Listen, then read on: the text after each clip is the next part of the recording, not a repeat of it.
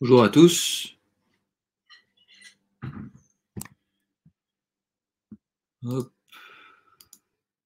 J'invite Aurélien, Marwan et Elliot à nous rejoindre. Ah. Je ne le voyais pas, je me disais que c'était bizarre. Ah, Marwan. ça va Ça va et toi?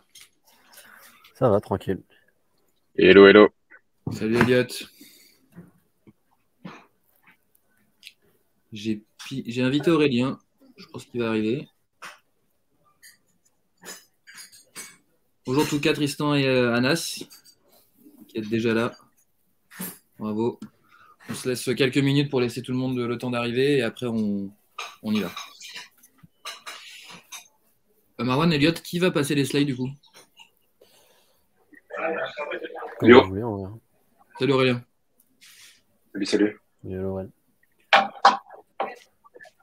Vous, Hello, ouais. Euh, vous avez décidé de passer les slides? Euh, moi, j'ai dit que je pouvais les passer si vous voulez. Comme vous voulez. Ah ok. Allez, bah let's go alors. C'est, c'est l'ordi d'Aurélien qui décollera aujourd'hui. Attends, on va voir. Hein. vous voyez mon écran? Yep. Ok.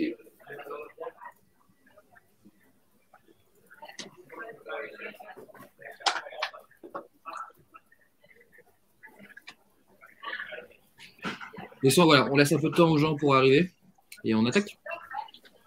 Pas de souci, ça marche. On fait comme ça.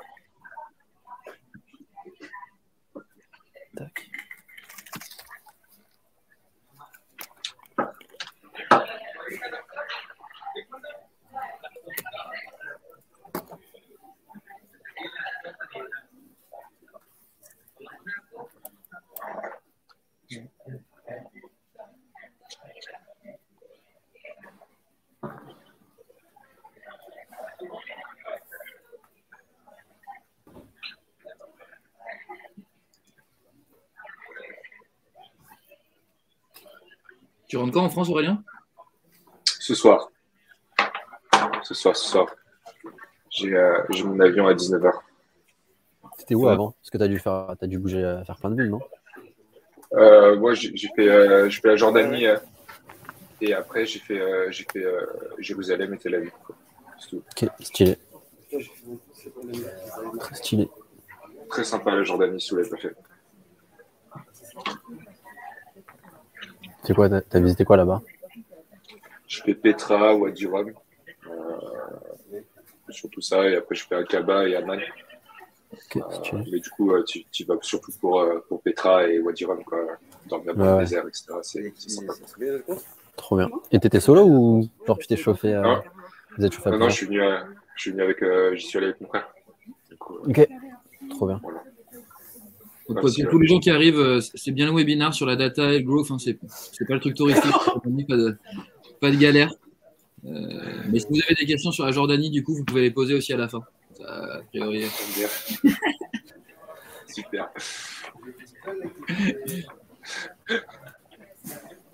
Bon, ça y est, ça arrive. Salut au- à tous les, tous les arrivants. Je vais pas vous nommer tous parce que sinon on va pas s'en sortir.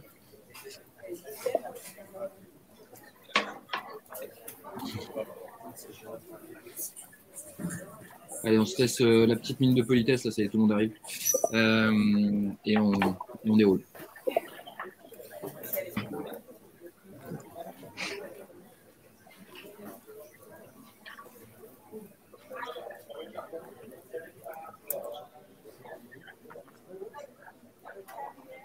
Ça ton ordi a pas décollé encore, Aurélien? C'est bon?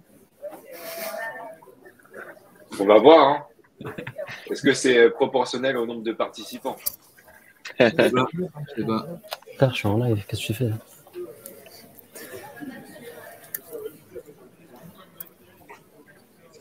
Euh, Bon, vas-y, on, on peut démarrer limite, comme ça on sera pas trop en retard. Il y a pas mal de gens, je pense, qui vont arriver euh, dans les 5 premières minutes. Donc, euh, c'est la, partie, c'est la partie où je parle des 1000, donc c'est la partie la moins importante, on va dire. Euh, bienvenue, bienvenue à tous. pour ce 15e webinaire, je pense, d'Emile. comme ça. Merci, merci beaucoup à tous les trois, donc Marwan, Elliot et Aurélien, de d'avoir voulu participer et, partager vos expériences surtout. Je vous laisserai vous présenter un petit peu plus tard. Euh, ce que ce qu'on va faire aujourd'hui, si tu veux passer les slides, Aurélien, du c'est qu'on va, voilà, on, va, on va parler très très rapidement des mises, ça prendra même pas 5 minutes, hein, promis, pour euh, vite leur laisser la parole. Ensuite, je laisserai bah, Marwan, Elliot et Aurélien se présenter. Et ensuite, ils vont euh, bah, parler de comment ils utilisent la data au quotidien dans leur pratique de Growth tous les jours et euh, comment ils ont fait euh, respectivement pour, monter aux compétences, si ça peut vous aider un petit peu là-dessus. Euh, à la fin, on essaiera de prendre au moins 10 minutes, dans l'idéal 15 minutes, pour répondre à vos questions. Tout au long du webinaire, vous avez un petit onglet questions en bas à droite de l'écran. N'hésitez pas à l'utiliser. Et si vous voyez des questions qui vous intéressent, n'hésitez pas à upvoter ces questions. Comme ça, s'il y a beaucoup de questions à la fin, on les traitera par ordre de popularité, on va dire. Donc, euh, n'hésitez pas. Et moi, pendant le webinaire, euh, comme je vais les laisser euh, parler, puisqu'ils connaissent bien mieux le sujet que moi, je répondrai aussi à des questions si je peux en parallèle pour essayer de tout traiter. Tu peux passer Aurélien? Donc voilà, donc très rapidement, nous, Emile, on fait de la formation en data avec un positionnement qui est un peu particulier. C'est que nous, on ne fait pas de reconversion professionnelle. Il y a déjà beaucoup, beaucoup de gens qui font ça très bien. Nous, notre credo, c'est de dire que tous les métiers du digital aujourd'hui, et notamment ceux en growth, ont besoin d'avoir un certain nombre de savoir-faire en data. Et nous, on crée des programmes pour faire développer ces savoir-faire en data. Donc, euh, quand vous êtes en growth, par exemple, vous avez envie d'analyser des données, vous n'avez pas envie de devenir data analyst, ben, nous, on va vous former à être meilleur sur la partie data analytique, on va dire, de votre métier, sans vous transformer en data analyst. Euh, du coup, euh, on fait ça avec des startups, nous. Donc, on, c'est des gens qui bossent dans des startups scale-up qui écrivent les programmes, c'est des gens qui bossent en startup scale-up qui donnent les cours et euh, on utilise, on est les seuls à faire ça, on utilise des vraies données de boîte aussi. Donc on a 7 à 8 partenaires, on a récupéré des données qu'on a anonymisées et donc on crée des programmes qui sont hyper, euh, hyper immersifs. Je laisserai Marwan en parler euh, puisqu'il en, a fait, en a fait un. et l'idée, c'est bah, qu'il n'y ait pas de différence entre ce que vous apprenez et ce que vous pourriez faire dans le quotidien quatre programmes, du coup, un programme data analyse, donc pour analyser les données, faire de la visualisation, un programme d'automatisation, un programme sur la partie tracking analytique avec Google Tag Manager, GA4 et Amplitude, et un programme un peu plus avancé techniquement avec Python et euh, du machine learning supervisé. Voilà, donc c'est que des programmes courts, entre euh, à peu près 45 heures où les sessions de formation se font le soir, euh, de 18h30 à 21h, puisque nous, on forme que des actifs, hein, euh, fondamentalement. Très pratique, ça j'en ai parlé, et concret. On utilise des vraies données, et à la fin de vos programmes, vous pouvez travailler sur vos propres données. Si ça vous intéresse, euh, vous pouvez aller sur notre site, et on pourra en parler à la fin. Je vais tout de suite laisser la parole à nos invités. Encore merci, et, on, se, en reparle tout à l'heure. Ok, bah du coup, enchanté tout le monde. Moi, c'est Marwan. Je vais me présenter très rapidement. Euh, ça fait pas très longtemps que je suis dans le monde du travail. J'ai fait ma première année de sales euh, chez, euh, chez Lamlist. Donc j'ai vécu un gros scale là-bas. Quand je suis arrivé, on faisait 3 millions. Je suis parti, on faisait plus de 10 millions d'ARR. Et, et j'ai quitté la boîte en novembre. Je suis parti pour rejoindre une petite boîte, une petite startup très early dans les HR Tech qui s'appelle Refty. Et donc là-bas, je les ai rejoints en tant que growth. Et, et je ne veux pas pitcher la boîte, mais on est en train de, de construire un outil qui permet aux entreprises de, mieux recruter, on va dire. Et, euh, et pourquoi est-ce que je vais vous parler de grosse bah, C'est parce que c'est un petit peu mon, métier aujourd'hui et c'est parce que les problématiques data, j'en ai pas mal, surtout, euh, surtout là avec, euh, avec. Et j'en ai vécu pas mal chez la Mist et, je vous en parlerai plus en détail après. Yes. Du coup, moi, du coup, c'est Aurélien. je travaille chez Spendesk. je suis arrivé il y a, il y a 4 ans, quand on était à peine une vingtaine d'employés. Euh, je suis arrivé en tant qu'ingénieur euh, pour travailler sur toutes les problématiques engineering euh, qui sont pas directement liées au produit, mais tout ce qui est transverse. Euh, ça va être ce qui va être tooling interne, ce qui va être ops, mais aussi tout ce qui va être autour tourner autour de la de la data. Euh, donc des, des problématiques assez intéressantes, euh, mais aussi qui au fur et à mesure que l'entreprise grossit, et ben des problématiques qui, qui changent. Euh, du coup, voilà. Euh, moi, j'ai quitté, euh, j'ai quitté Spendesk au début d'année, en juin, en janvier. et là, justement, je suis sur, je suis sur un nouveau projet là-dessus, quoi. et notamment en data. Hello tout le monde. Du coup, pour finir le petit tour de présentation, euh, Elliot, moi je travaille actuellement chez Gorgias, qui est une solution SaaS de helpdesk spécialisée sur la verticale e-commerce. Et euh, donc, j'ai un, peu comme aurait un background technique euh, euh, sur de la, de la, partie engineering. Une première expérience au début dans du B2C, donc des, des, problématiques data qui sont intéressantes et qui sont différentes du B2B SaaS aussi. Et, là, aujourd'hui, chez Gorgias, je m'occupe de ce qu'on va appeler la plateforme data. On a énormément de sources de données, d'automatisation, de, et l'idée, c'est toujours de pouvoir servir la bonne donnée au bon endroit pour être utilisée par les équipes business. Encore une fois, là, on, traite vraiment de la, donnée business, entre guillemets. Euh, et, donc, mon rôle, c'est de structurer un peu tout ça et, de faire en sorte que tout euh, transite au bon endroit.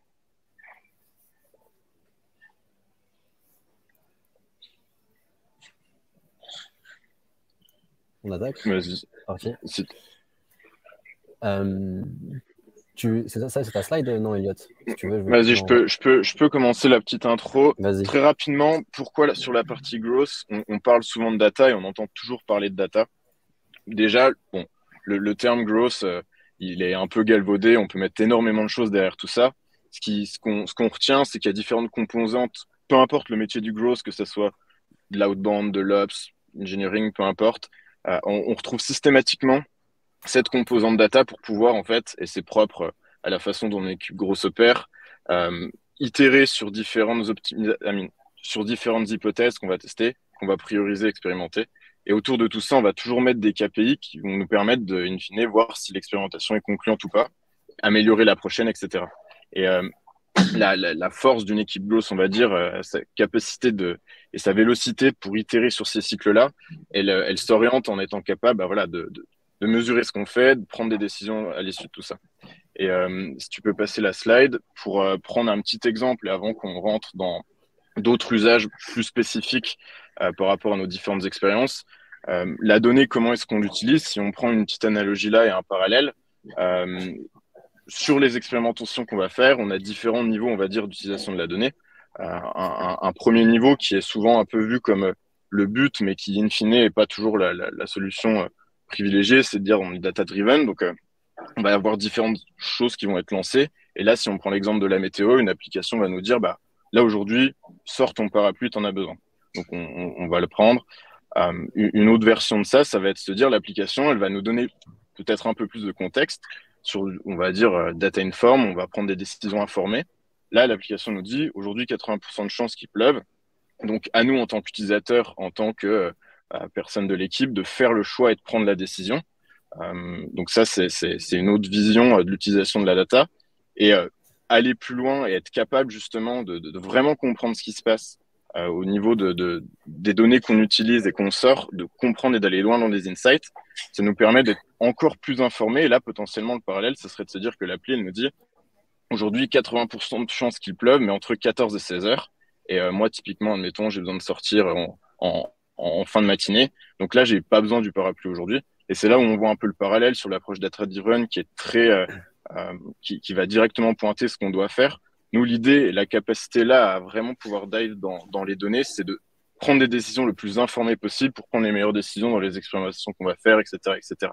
Donc là, c'est plus un, un, petit reminder sur pourquoi la donnée, en fait, euh, c'est clé aujourd'hui. C'est pour prendre des décisions informées et faire des choix business qui font du sens. Euh, évidemment, la donnée va être aussi utilisée au sein des expérimentations pour euh, automatiser des choses, euh, enrichir, etc. Mais la prise d'information, la prise de décision, elle est, clé dans les métiers du boss aujourd'hui. Donc, on, va passer sur différents use cases et, un peu vous, vous, partager des expériences liées à tout ça. Ok. Du coup, le, premier use case, et en vrai, ça va plus être une problématique de mon côté, parce que vous verrez que comparé à, Elliot et, euh, Aurélien, euh, j'ai le, le moins de background tech euh, des trois. Et, euh, donc, en gros, euh, je vais plus voilà, vous partager un, vrai problème concret que j'ai rencontré chez Lamlist. Donc, comme je vous l'ai dit, quand je suis arrivé chez Lamlist, on faisait, enfin, quand je suis parti de chez Lamlist, on faisait 10 millions d'ARR, on était moins de 40 personnes. Tu, tu peux avancer dans les slides. Ouais. On était moins de 40 personnes. Et euh, je crois que sur la team sales à l'époque, quand j'y étais, on devait être, on devait être 4. Donc la boîte, elle était drivée par des leads inbound. Le problème, c'est qu'on avait euh, pas d'ops, aucun sales ops, aucun growth ops, aucun rien du tout. On n'avait pas d'équipe growth, on n'avait pas euh, de profil data avec nous pour nous aider, on n'avait pas de stack data, on n'avait pas de lead scoring, donc on avait 1000 leads entrants qui rentraient comme ça et on ne savait pas comment les traiter. Euh, on n'avait pas de système d'attribution, pas de dashboard. En fait, on n'avait rien. On n'avait rien et la seule data qu'on suivait, la seule maîtrise qu'on suivait, parce qu'on n'était pas assez et que c'était que c'était un peu la course, c'était le MRR. Si la courbe elle continue à monter, on était content et on continue à pousser. Et sinon, euh, on réfléchissait à ce qui faisait que bah, il n'y avait, y avait pas de croissance. Donc, euh, donc vraiment, c'était hyper compliqué. Et donc là, pour reprendre l'exemple d'Eliott, on n'était pas du tout data-driven, encore moins data euh, informé et encore moins vraiment data informé plus plus. On naviguait vraiment à vue, c'était on faisait des actions, on priait pour que ça fonctionne. Bon, après, on, avait quand même la chance de, suivre quelques petits KPI qui faisaient qu'on savait qu'on ne prenait pas forcément les mauvaises directions. Mais en gros, c'était comme ça. Et donc, tout ce job de gérer un petit peu la data, mettre les choses aux bons endroits, avoir des dashboards, suivre nos actions, c'était un peu les sales qu'ils faisaient. Euh, le problème avec tout ça, c'est que à la fin, et c'est encore une fois le, vrai problème de. Enfin, c'est là, là, la force de la data, c'est qu'à un, moment, on s'est posé, on a regardé nos, les métriques et on s'est dit qu'en fait, les sales en outbound n'y servent à rien. En, gros, la boîte, elle continue à avoir de la croissance sans les sales. Donc, ce qui s'est passé, c'est qu'on on a changé de mode de fonctionnement et on est passé d'un mode de fonctionnement outbound où on allait chercher des clients à un mode de fonctionnement en mode agence. En gros, la team sales, a devenu une mini-agence au sein de l'Emlist où on allait travailler pour des clients à nous gratuitement dans l'optique de faire du contenu et donc de générer encore plus de leads inbound. Et à partir de ce moment-là, toutes les problématiques qu'on avait déjà en amont euh, dans notre boîte, on les a revécues encore plus fortes parce que là, on travaillait pour quatre clients en même temps sur deux, trois ICP différents. Et donc, euh, quand j'ai commencé à faire de la lead gen, c'est le, la slide d'après, euh, j'ai commencé, à, commencé à construire du coup des workflows dont un petit exemple ultra basique qui était de, on partait de Welcome to the Jungle, on faisait du scrapping, on, mettait ça dans un Google Sheet, on enrichissait avec LinkedIn, on réenrichissait avec euh, Drop Contact, on poussait ça dans des campagnes list.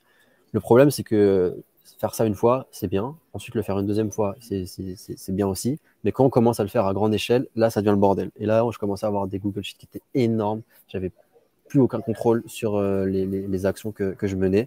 J'arrivais plus à gérer, à utiliser la data pour prendre de bonnes décisions. Et du coup, il y avait un impact fort, qui était un, vrai impact sur la haute bande où on était, euh, on était moins bon.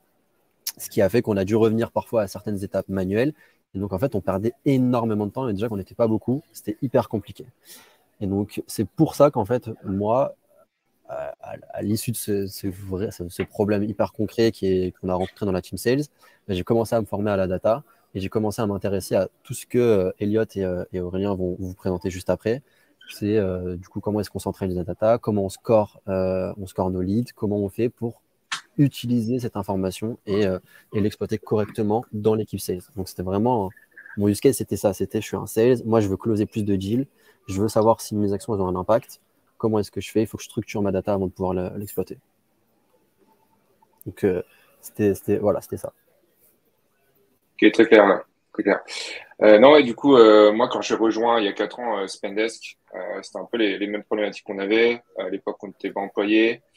il y avait, il y avait commencé à avoir pas mal de sales. au moment où je suis arrivé, enfin, pas mal de sales, deux, trois sales. Et, et Spendesk, été un peu aussi une, boîte, notamment au début, qui était très drivée par l'autre bande. tu vois, aujourd'hui, on a encore 30%, enfin, 30% je crois, de l'effectif, c'est des sales.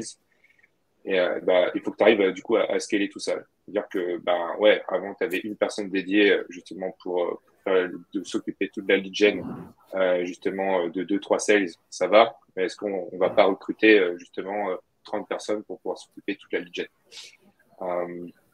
Et, et, du coup, euh, est venu là ces, ces, différentes problématiques de comment on arrive à, à scaler tout ça.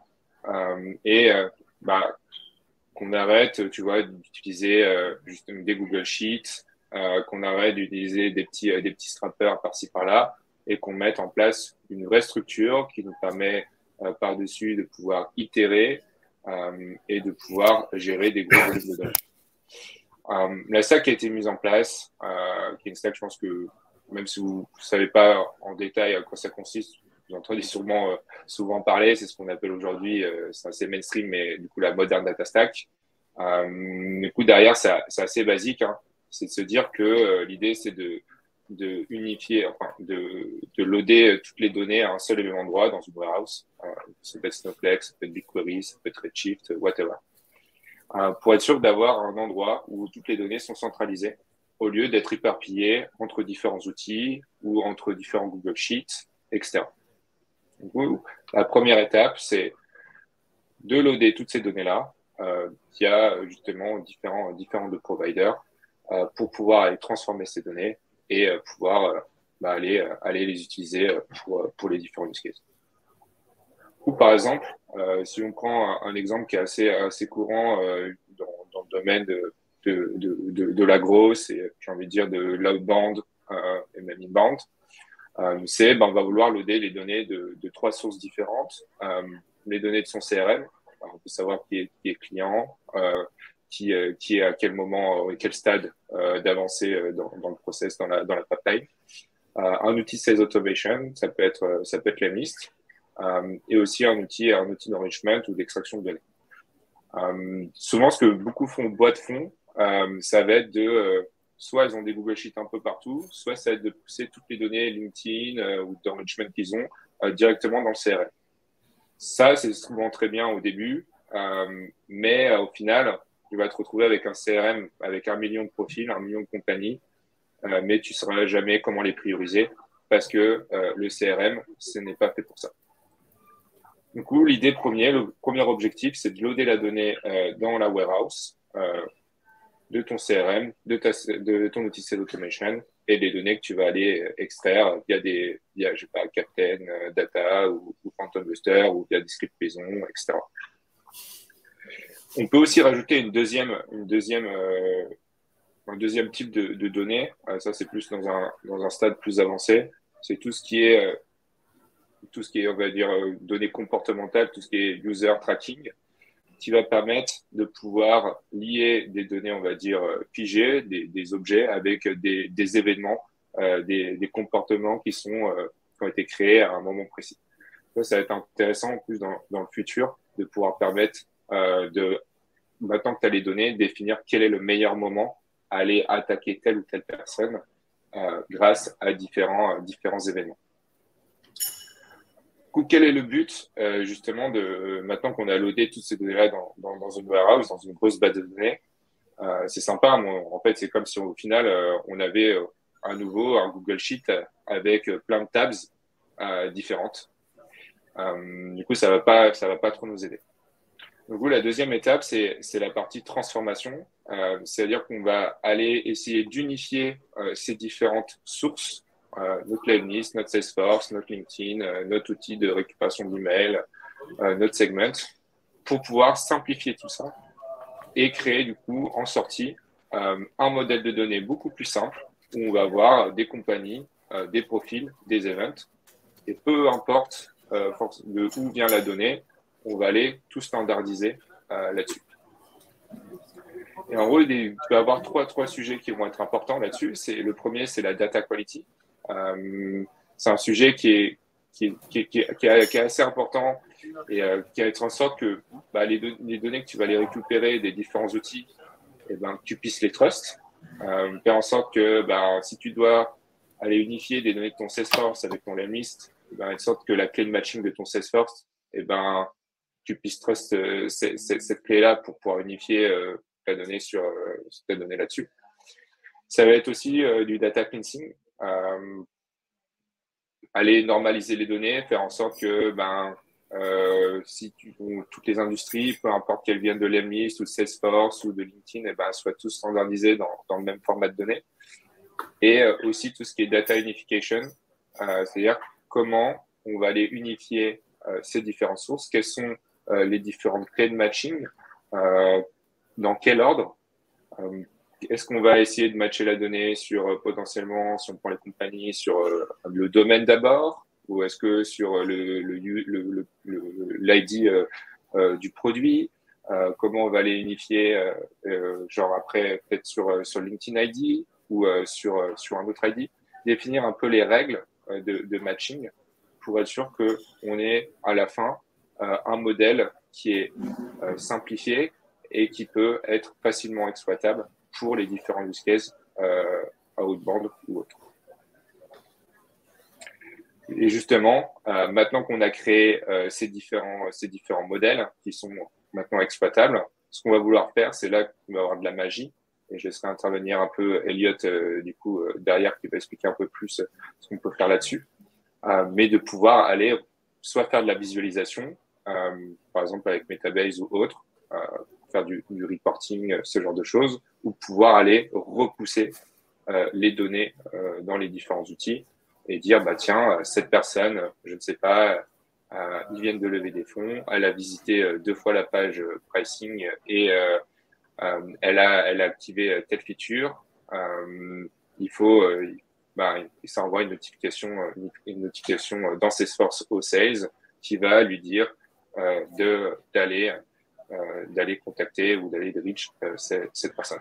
Ou même chose plus sur la outbound dans les listes euh, en fonction de différents critères, eh ben, euh, telle ou telle personne, en fonction de ce qu'elle a fait, euh, quel type de compagnie, si elle a réagi à tel ou tel poste, etc., bah, aller pouvoir la pousser dans une campagne spécifique.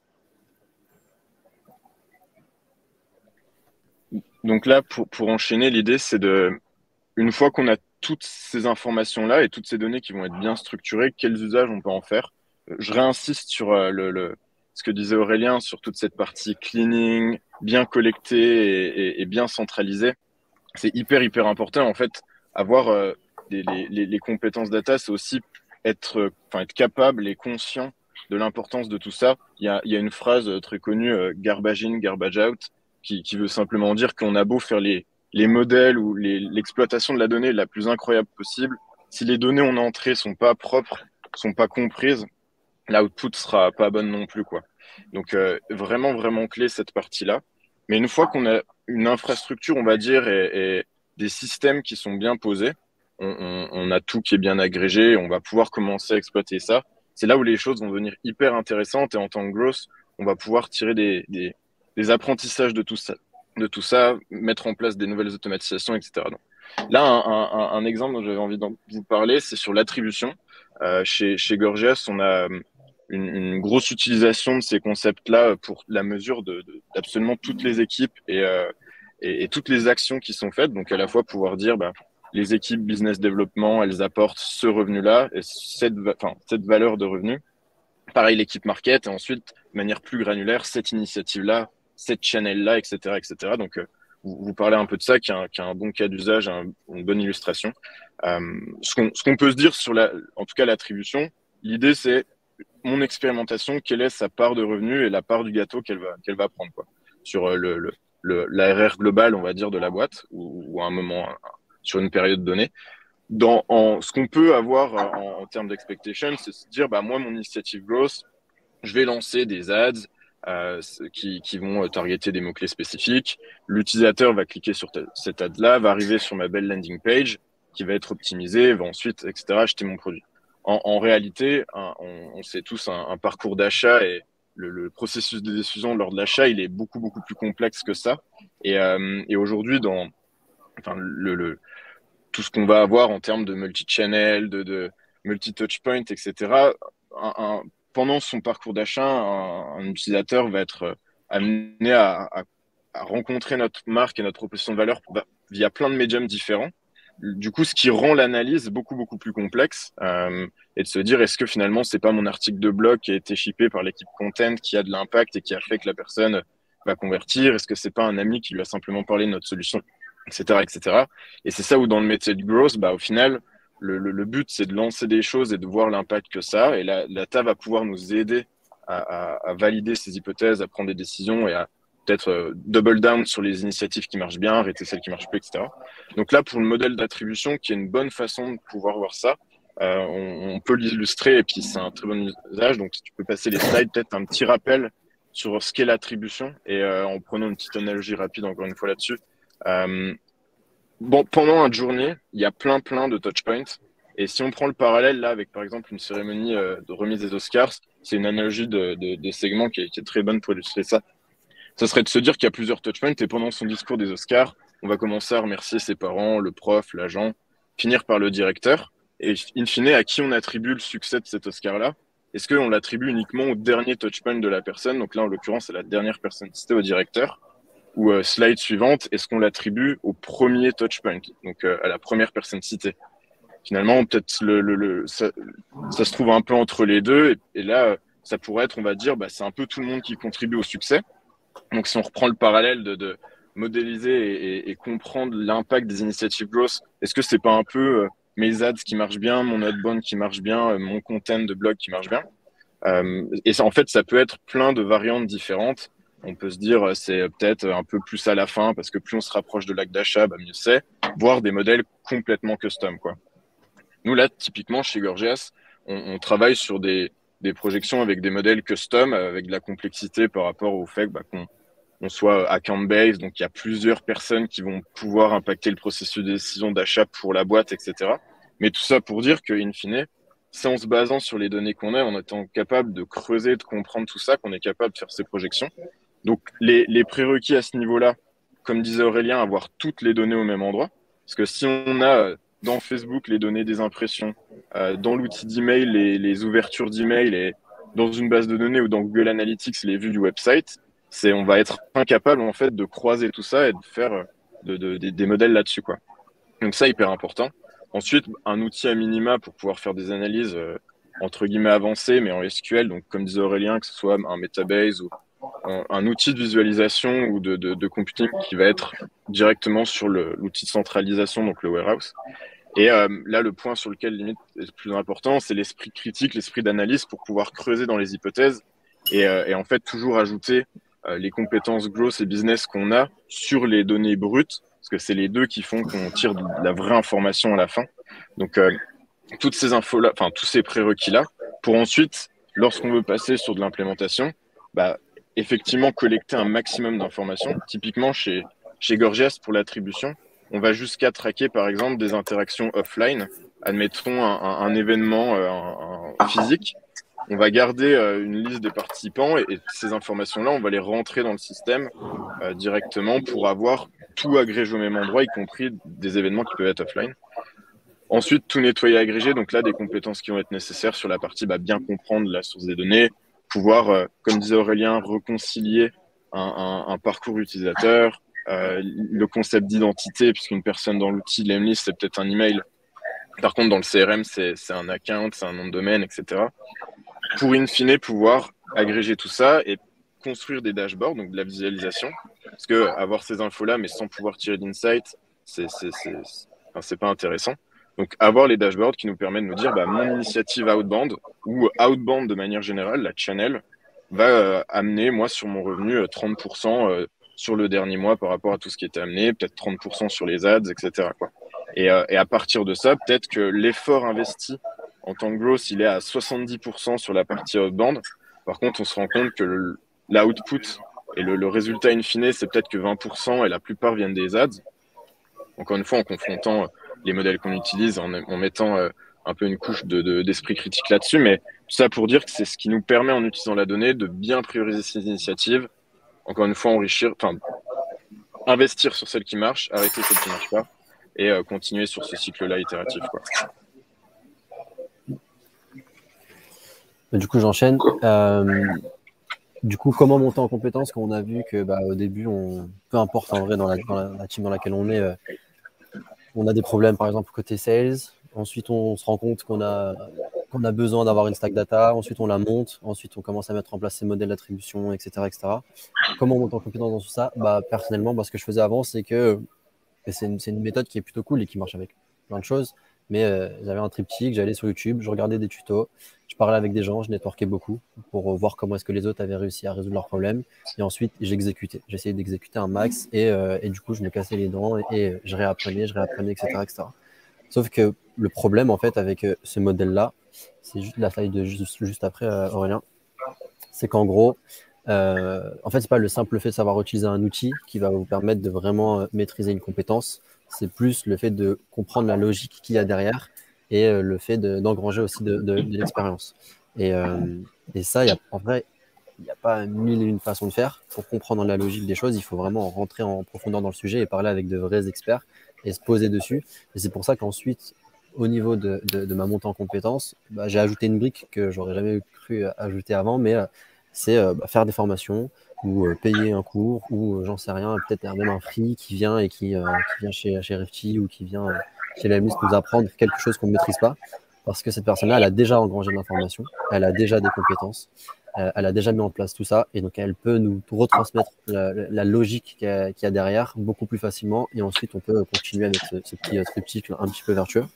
Et donc, en vrai, moi, c'est pour ça que, j'avais fait euh, Data for Pro avant euh, marketing, marketing, Automation chez Emile. C'est quand j'étais chez l'ami, c'est que j'ai eu mon, problème. Déjà, j'étais conscient qu'il y avait des possibilités euh, aussi avancées que comme on peut le faire chez Spendex ou, Gorgias, mais je ne savais pas le faire. Et puis j'en étais conscient qu'à 20%. En fait, une fois que j'ai commencé à échanger avec eux, une fois que j'ai commencé à voir ce qui était possible de faire, là, il y a un autre monde qui s'est ouvert à moi. Et là, j'ai entrevu d'autres possibilités, d'autres leviers grosses qu'on pouvait utiliser chez, chez, euh, chez la Mist. Donc, je sais pas comment est-ce que vous, vous faites, euh, Elliot et, Aurel, mais, euh, mais vraiment, c'est comme ça que, je fais. Après, je pense que c'est un peu propre à, chacun et comment la, la, personne a, elle a l'habitude du coup de d'apprendre, etc. je pense que ouais, faut, faut arriver, continuer à être proactif, continuer à, à un peu du coup voir voir, euh, voir, euh, voir ce qui, enfin, pas avoir peur de, de, de, ce qui se fait, genre voir les nouveautés, que ce soit les nouveaux concepts, les nouveaux outils, euh, ce genre de choses, et juste tester, et juste être curieux, quoi. Et, et à partir de là, ouais, soit, soit il y a des, des, sujets un peu complexes, ben, passer par des formations, soit pouvoir le, prendre du temps tout seul pour pouvoir essayer de, d'appréhender le sujet en question. Euh, mais pour moi, c'est juste, c'est juste, c'est vraiment une question, euh, tout est une question de, de, curiosité et d'envie. Et après, juste d'être aiguillé par euh, du réseau, euh, des peers qui ont les mêmes problématiques euh, là-dessus, quoi. Et peut-être ce que ce que je rajouterais, d'accord avec vous sur tout ça, c'est la montée en compétences, c'est pas quelque chose qui a une fin. In fine, le, le, une fois que les bases sont posées, c'est lié aussi à la curiosité, mais l'écosystème et data et growth aussi évoluent tellement rapidement aujourd'hui en termes d'outils, en termes d'approche, de pratique, constamment garder une veille aussi euh, technologique euh, euh, sur les nouvelles tendances, c'est hyper hyper important pour rester bah, à jour. Et, là, un peu ce que tu t'illustrais avec ces, cycles-là, c'est quelque chose à garder en continu, en continu, se former, échanger donc, euh, c'est ce que je rajouterais, quoi, en tout cas, là-dessus. La, montée en compétences, ça n'a ça, pas de fin, quoi. Il faut pas avoir peur de, des fois, peut-être euh, juste l'impression de pas avoir, de pas avancer ou de pas comprendre. Moi, ça m'est arrivé des fois de, pendant deux semaines, au final, d'avoir de, l'impression de rien faire. Mais euh, au final, tu cogites, mmh. tu t'essayes et, et, tu prends un mur, tu recommences. Et, et je pense que c'est aussi ça, c'est aussi ça à apprendre.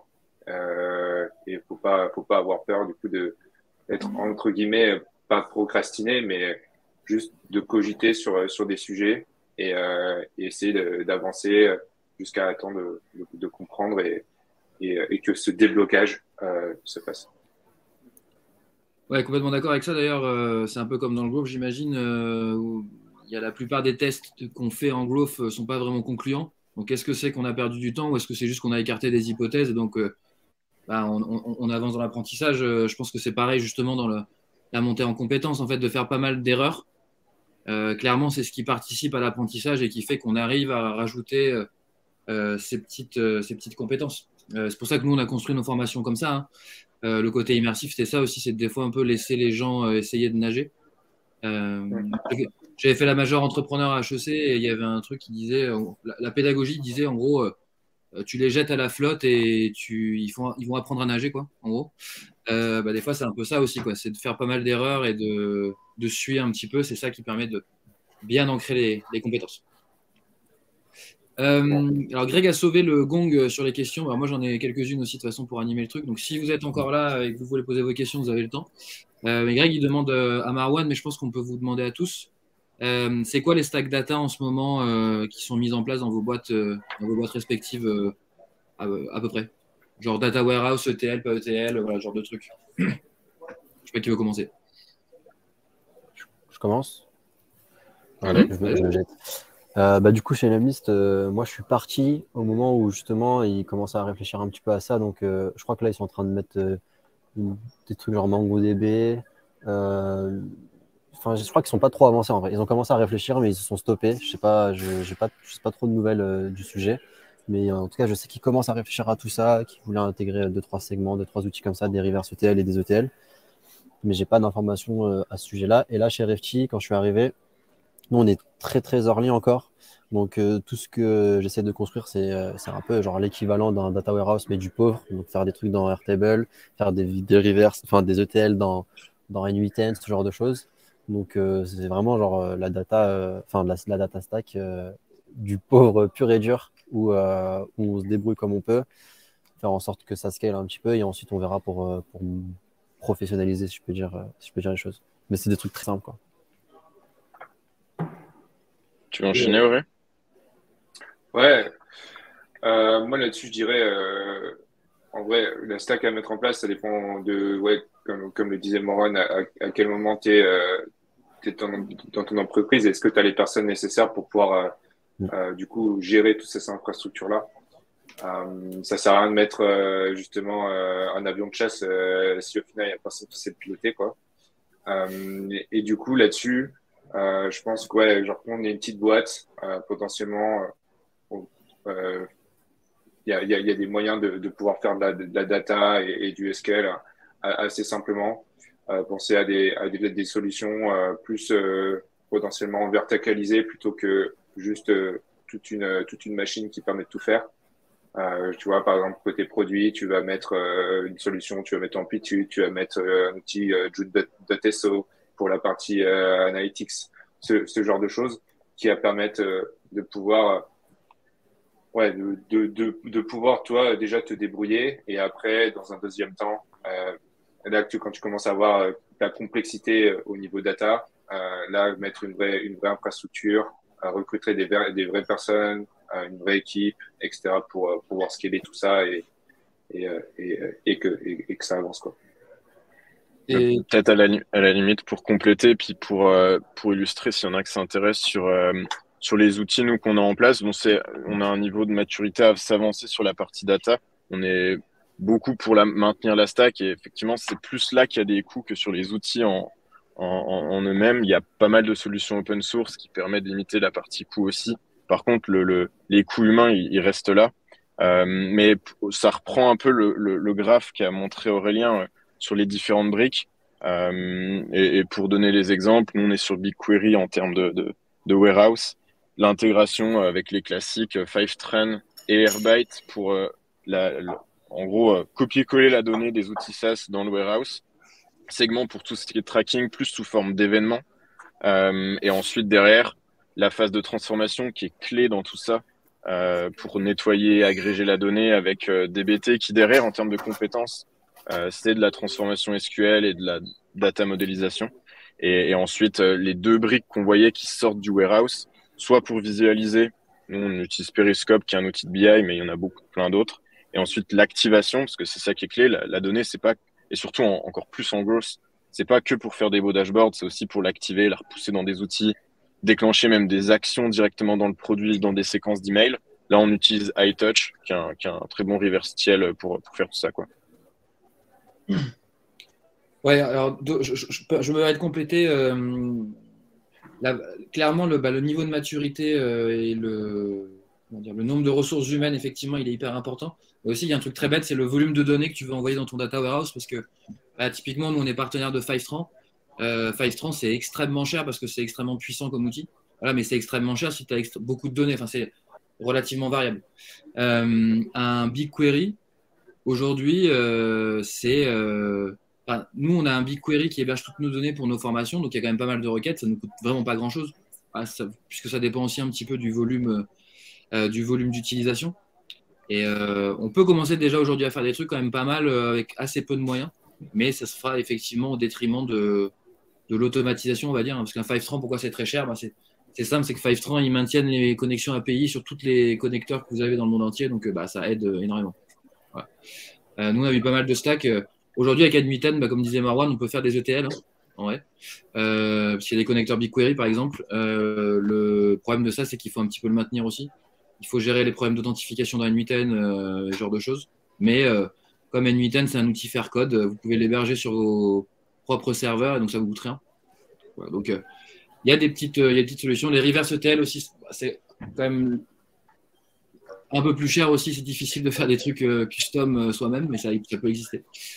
Euh... Thomas, il pose une question un peu plus technique.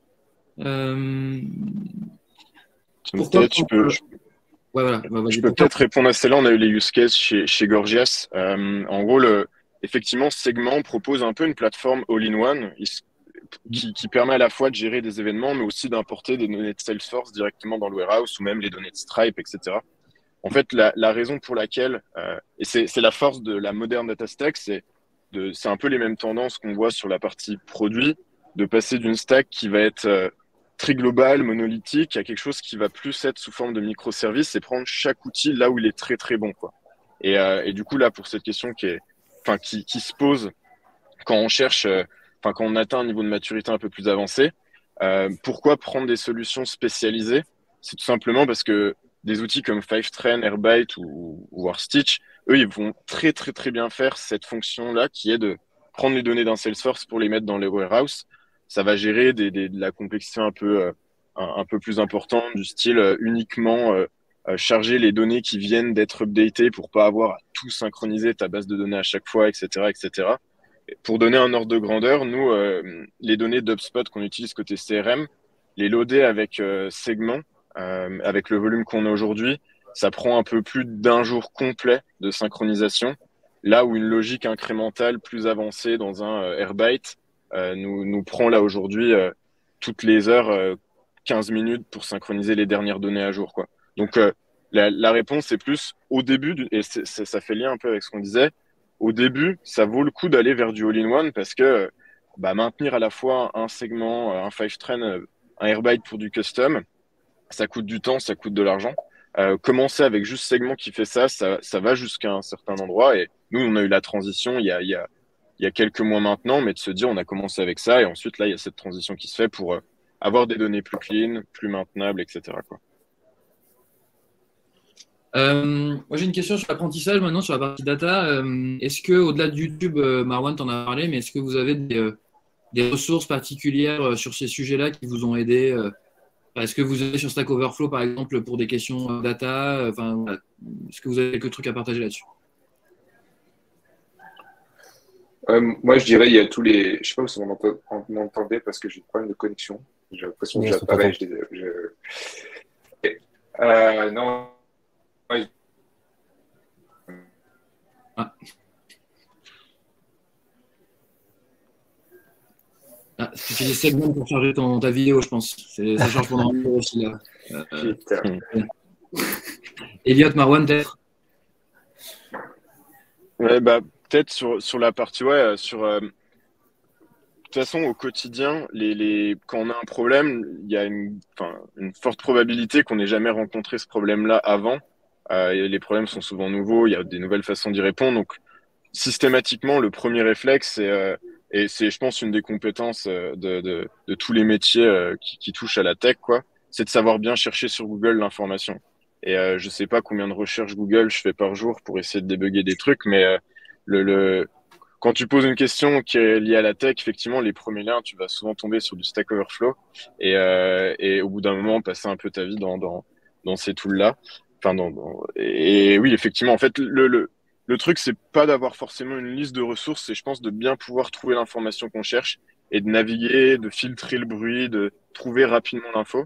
Et, euh, en fait, c'est test and learn aussi. Plus on va être confronté à des problèmes, plus on va aiguiser un peu cette euh, skills-là à, aller chercher de l'info dès qu'on dès qu'on est face à un mur. Et euh, parce que très clairement, dès qu'il y a un problème, le, on ne sait pas encore comment y répondre, mais on sait qu'on est capable d'y répondre en creusant, quoi. Marwan, tu as un truc à ajouter? Bah, Moi, je suis pas un gros, gros background tech. Donc, euh, mon premier réflexe, c'est de me balader dans Stack Overflow aussi, d'essayer de chercher l'information là où je peux. Et vu que parfois, ça devient un peu trop compliqué pour moi, franchement, en vrai, moi, j'hésite pas à aller voir euh, les techs à côté de moi. Euh, quand j'étais chez les Mist, je, cassais, les pieds aux techs en leur posant plein un milliard de questions. Alors vraiment, des fois, je prenais le temps le soir et tout, je restais avec eux en mode explique-moi comment ça marche, pourquoi, etc., etc. Et sinon, ouais, j'essaie de beaucoup parler aussi avec les gens qui m'entourent, enfin, d'activer toujours le réseau en mode, il y a sûrement quelqu'un qui a déjà eu le problème et qui, l'a, qui a réussi à le résoudre. Donc, c'est recherche sur Google et recherche dans mon réseau. Ouais, si je peux rajouter un truc, la plupart des outils data ont, des très belles, ont des très belles docs aussi. qui font, voilà, donc ça revient à ce que disait Elliot. De toute façon, quand tu recherches sur Google, il y a souvent en fait les docs des, des outils qui vont monter en premier. Mais globalement, moi, des fois, je prends le réflexe d'aller directement sur la partie doc euh, des outils, euh, euh, slash la partie communauté aussi. Euh, mmh. N8N, il y a un très gros forum de gens qui utilisent N8N où il y a beaucoup, beaucoup de questions-réponses. Et on peut même poser ces questions, donc c'est génial. Donc ça, ça fait parmi des trucs aussi qui, aident pas mal ces cas-là. sur, sur ça, je passe énormément de temps dans des Slack, euh, surtout sur la partie, euh, sur ces outils data. Il y a des communautés euh, euh locally optimistiques, la communauté DBT qui ont des Slack vraiment hyper dynamiques. C'est assez facile de se perdre dans la formation quand on l'apprend quand elle vient. Par contre, quand on cherche quelque chose, un petit commande F et taper le nom du bug ou le, le, problème, on tombe sur des threads qui, expliquent bien le pourquoi et sur une spécificité là pour le coup data quoi. Donc ça, euh, j'utilise beaucoup en parallèle de, chercher le bug sur Google. quoi. Une dernière, pour pas trop dépasser. Vincent, il demande bah, tout, simplement pour avoir une vraie moderne data stack, c'est-à-dire avec une donnée euh, dans laquelle on a confiance, entre guillemets, est-ce que est-ce qu'on peut se passer d'avoir une équipe de data ingénieurs, enfin une équipe un peu tech qui maintienne le truc quoi? Est-ce que des gens sans background technique peuvent euh, maintenir ce genre de truc J'ai une idée de la réponse, mais je vais vous, je vais vous laisser répondre. Quand même. J'allais dire Auré, il était revenu, mais. Bah, J'espère que je suis revenu. Bah, vas-y, on t'entend. non, vas-y, vas-y. ok, non, c'est compliqué, tout simplement. Euh, en vrai, euh, ça, ça, dépend en fait à quel stade. Si ça va être euh, au final, genre, notamment, on va dire le BABA du data engineering, c'est beaucoup plus simple qu'il y a cinq ans parce qu'il y a pas mal d'outils qui permettent de le faire, alors qu'avant, il fallait tout faire en custom. Euh, que ce soit par exemple la partie TL, de loading des données euh, du coup dans la warehouse. Euh, avant, il fallait tout faire en custom, il y avait tout en open source, il fallait, mettre un Airflow. Enfin, c'était compliqué. Aujourd'hui, créer un compte sur Stitch Data ou Fivetran ou Airbyte et, connecter son, son tool, c'est assez simple. Du coup, si c'est vraiment le début et potentiellement créer des, des, choses assez simples, basiques, avec des queries assez, assez basiques, où il n'y a pas trop de legacy, il n'y a pas trop d'unification de données entre différentes sources, mais juste du reporting potentiellement au-dessus d'un outil. Ça, ça peut être intéressant de, de, de, le faire. Et si vous êtes un peu techie ou vous avez fait une formation euh, un peu tech, euh, vous vous débrouillerez. Et oui, bien sûr, euh, justement, après, il faudra, faudra des, un background plus, plus engineering pour, pour reprendre la main par-dessus. Ouais, si je peux compléter, ça, Vincent, ça va être une fonction de l'investissement que tu es prêt à mettre aussi. En fait, euh, typiquement, utiliser Fivetran, euh, bah, façon, tu fais le programme automation, donc tu le verras avec nous. Tu verras, c'est pas très compliqué en soi, hein, l'outil euh, derrière. Par contre, si tu veux brancher beaucoup de sources de données et faire tourner le truc souvent, ça devenir, c'est très très cher, évidemment. Euh, c'est pareil, Amplitude. Amplitude, il y a une version gratuite où tu as des, as des dashs classiques. Si tu veux avoir tous les dashs avec les, les dashs un peu de, de prédiction et ce genre de choses, ça te coûte 40, entre 40 et 50 000 euros à l'année. Donc, euh, bah voilà. Euh, et, mais quant à ça, euh, qui est bien branché avec un tracking bien foutu, euh, il faut maintenir le tracking, mais derrière, tu peux faire des super analyses seul. N'importe qui peut faire des dashboards d'amplitude, c'est très bien fait.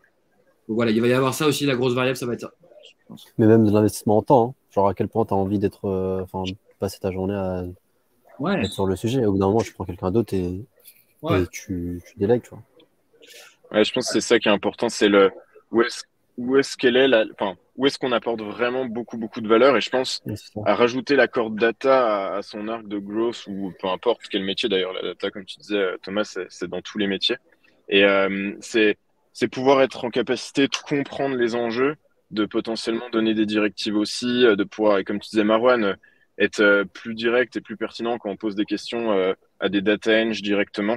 Après, c'est sûr, le, le, je pense, même s'auto-forme, enfin, en tout cas, ce, des, des, courtes auto-formations, etc., ça, ça, ça c'est pas une reconversion, comme tu disais, Thomas. Par mm. contre, euh, ça, ça, permet en fait de créer des liens et de, de à la fois des, des, des connexions pour se dire, bah, de cette façon, on peut le faire, on est capable de le faire. et puis de déléguer et de, de, spécifier en gros notre besoin pour le traduire en, en, en, gros en spécificité technique pour des techs derrière quoi. Moi c'est exactement comme ça que je vois l'univers du no-code de manière générale. Hein. Les product builders, qu'est-ce qu'ils font en fait? Euh, Vu que tu as des outils no-code, maintenant tu peux faire des POC. Donc les, les fonctions qui n'étaient pas tech peuvent faire des POC qui sont hyper intéressants. Comme ça, tu peux tester, tu peux voir aussi, parce que les problèmes des projets data, c'est comme n'importe quel projet technique. C'est-à-dire qu'au début, tu penses que tu veux A, mais en fait, tu veux D ou tu veux E. Et en fait, c'est en faisant les trucs, en testant un petit peu, en regardant, que tu vas te rendre compte de ce que tu veux vraiment. Et donc, euh, d'avoir euh, tous ces outils no-code, low-code pour faire des trucs comme ça, même pour des projets data, c'est vachement intéressant. Mais à un moment donné, si tu veux vraiment avoir un truc à échelle qui est bien maintenu, qui va être vu par tout le monde, il y aura, nécessité de passer par, de la technique et par des techs euh, à un moment. Il n'y a, pas le choix, quoi. Ça, c'est sûr. si ça vous va, messieurs, on va se laisser là-dessus. On n'est pas très en retard, ça va. Euh, encore un grand, grand merci à tous les trois pour vos partages euh, d'expérience. Pour ceux qui. Alors, il y a des gens qui sont venus, qui sont ressortis. On va faire un replay normalement si ça, a, si ça a bien fonctionné, euh, qu'on vous enverra. Et bah, n'hésitez pas, si vous avez des questions à nous écrire, bah, ce, serait, ce serait un plaisir. Et encore merci à tous les trois. Top, trop cool. Merci à vous, c'était cool. Merci tout le monde. Merci à vous.